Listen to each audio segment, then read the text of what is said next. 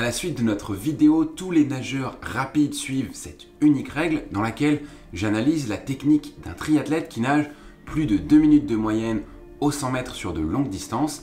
Régis m'a posé une question qui m'a challengé. Ce type est comme moi, il flotte mal, ses pieds coulent énormément et dès qu'il sort la tête pour respirer, sa flottaison chute complètement et ses défauts sont la conséquence des mouvements qu'il fait pour rattraper son équilibre. Alors voici ma question, tout le monde est-il fait pour nager le crawl?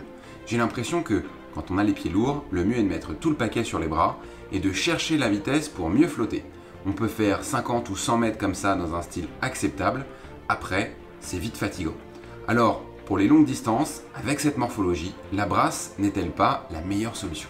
Je vais bien décortiquer ce commentaire parce qu'à l'intérieur, il y a plusieurs questions et surtout il y a plusieurs croyances qui ont la dent dure. D'abord, faut-il vraiment privilégier la brasse sur de longues distances lorsqu'on ne va pas très vite en crawl? Ensuite, est-ce que nager vite va te permettre de mieux flotter? Et enfin, et peut-être le plus important, est-ce que ta morphologie te condamne à ne jamais très bien nager? T'es prêt? C'est parti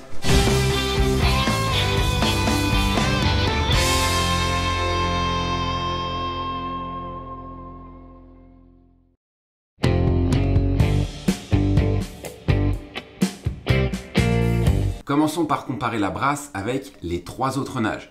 Et si on devait établir un classement, la brasse est la nage la plus lente, puis vient le dos, le papillon et enfin le crawl. Je t'ai partagé ici les temps, les records sur le 100 mètres. Maintenant, comparons la brasse d'un point de vue des dépenses énergétiques avec les trois autres nages. On pourrait penser que le papillon est de loin la nage la plus énergivore, mais en réalité, la brasse ne se tient pas très loin, juste derrière.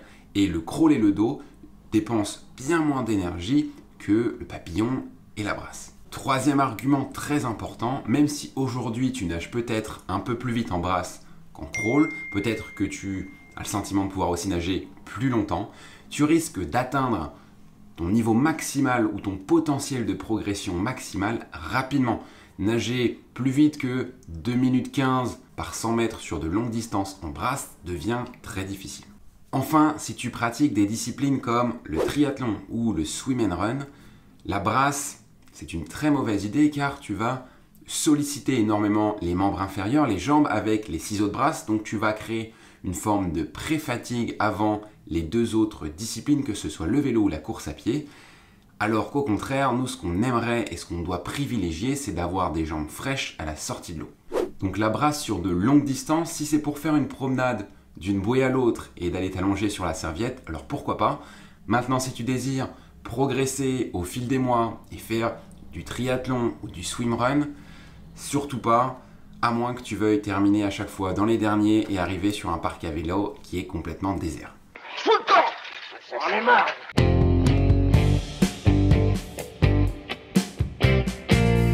Dans l'exemple de notre nageur, il a les jambes qui coulent fortement, il nage dans une position oblique qui entraîne beaucoup de résistance et qui l'empêche d'avancer vite. La raison évoquée par Régis est partagée par de nombreux autres nageurs qui ont appris à nager sur le tard. Elle est liée à un problème de morphologie avec des jambes qui sont musclées, qui sont denses, qui coulent et qui nous interdit de glisser sur l'eau et de nager longtemps sans effort. Mais commençons par voir ce que serait la morphologie idéale d'un nageur. Et Tristan d'Iron Newman l'avait bien résumé dans l'une de ses vidéos. Des bras longs, des clavicules longues, des épaules larges qui permettent d'avoir une amplitude plus importante que les autres nageurs. C'est un avantage important car ça permet de parcourir plus de distance à chaque coup de bras. Ensuite, des hanches étroites, une insertion du grand dorsal au niveau de l'humérus assez basse qui permet d'avoir une forme du corps taillée en V et donc une forme plus proche de celle d'une goutte d'eau qui est très hydrodynamique. Enfin, une hyperlaxité articulaire importante qui permet de mettre en place des éléments techniques plus facilement et des muscles longs qui permettent d'avoir davantage de force.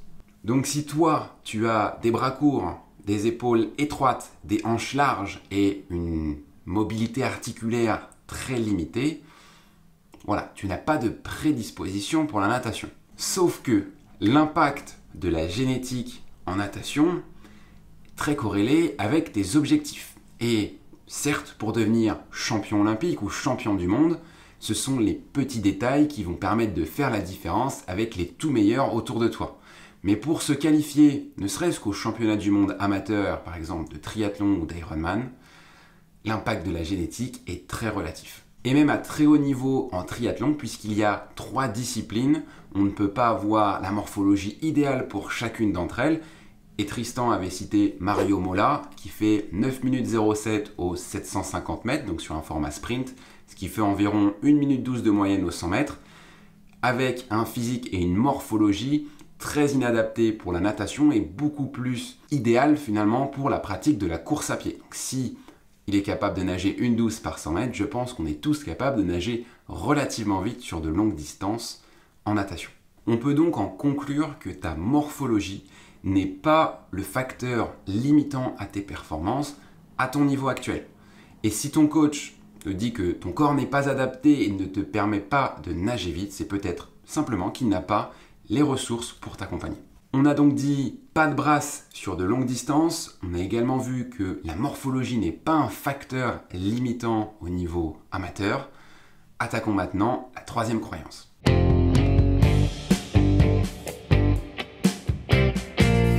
On va donc reprendre la question initiale de Régis. Faut-il nager vite pour adopter une position horizontale, ne plus avoir les jambes qui coulent et mettre fin à cette sensation de se battre dans l'eau? Et ici, on se retrouve face à un dilemme de l'œuf ou la poule. Qui vient en premier?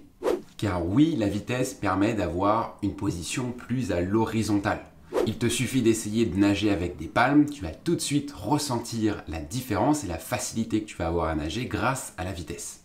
Mais dans le même temps, une meilleure horizontalité permet d'avoir plus de vitesse car le fait d'être dans une position plus horizontale, tu vas avoir beaucoup moins de résistance à l'avancement qui vont être créés. Et donc pour le même effort, tu vas pouvoir avancer plus vite. C'est exactement comme adopter une position plus aérodynamique sur ton vélo qui te permet d'avoir beaucoup moins de résistance à l'air et donc d'avancer plus efficacement, toujours pour le même effort fourni. Et voici ce que nous dit encore Régis. J'ai l'impression que quand on a les pieds lourds, le mieux est de mettre tout le paquet sur les bras et de chercher la vitesse pour mieux flotter. On peut faire 50 ou 100 mètres, comme ça, dans un style acceptable, après, c'est vite fatigant.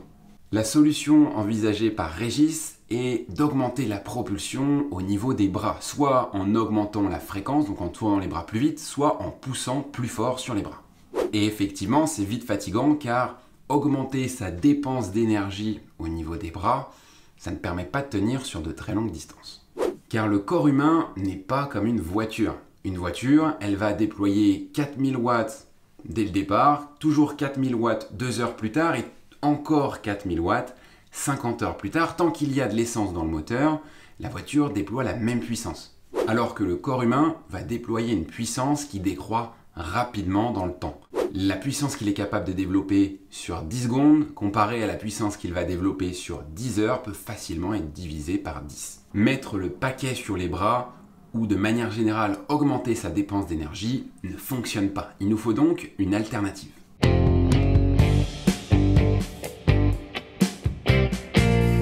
La priorité sur de longues distances, c'est de chercher le meilleur rendement possible. C'est-à-dire maintenir le meilleur rendement technique et musculaire sur une certaine durée, ça c'est une définition de Fabrice Pellerin, ou pour simplifier encore davantage, utiliser son énergie le plus efficacement possible sur une distance cible. Et les trois facteurs influençant la performance de Régis sont, attention, dans l'ordre d'importance. 1. La technique de nage, car en cherchant des solutions techniques pour améliorer sa position dans l'eau, adapté surtout à sa morphologie, il va largement augmenter sa vitesse de nage. Puis en améliorant sa propulsion, toujours techniquement, il va encore progresser davantage.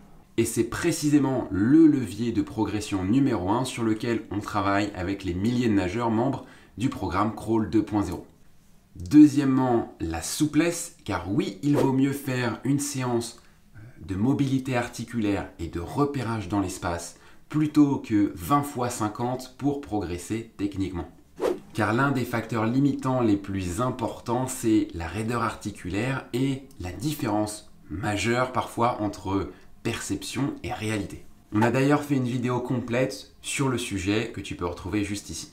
Et si les 20 fois 50 mètres ou les 1500 mètres sans arrêter constituent aujourd'hui ton levier de progression numéro 1 dans tes entraînements, que ce soit seul ou que ce soit en club, alors j'ai une mauvaise nouvelle, il est possible que tu puisses stagner encore de longues années. Et troisièmement, tes capacités physiologiques dans lesquelles je vais regrouper force, endurance et qualité cardio-respiratoire. Mais attention, toujours en gardant en tête qu'elles sont développées dans le but de maintenir une qualité technique sur de longues distances et non pas juste pour dépenser plus d'énergie dans l'eau.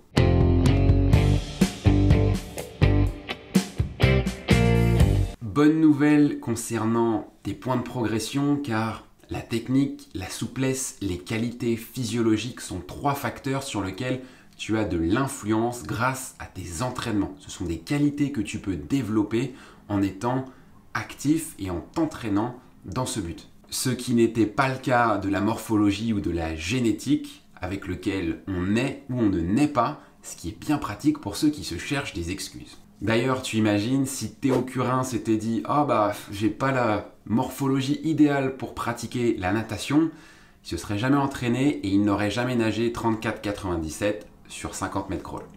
Je trouve d'ailleurs que Théo apporte une très belle preuve que tout le monde est fait pour nager le crawl. Mais chacun d'entre nous a des besoins différents et c'est ce qu'on cherche à t'apporter avec l'individualisation des solutions dans la méthode Crawl 2.0. Là où en club ou en cours particulier, chaque coach impose sa méthode, son dogme et sa manière de nager idéale, on va chercher à t'offrir des solutions qui te permettent d'évoluer individuellement. Car qu'on soit au bord du bassin ou pas, à la fin, c'est à toi de mettre en application les conseils dans l'eau.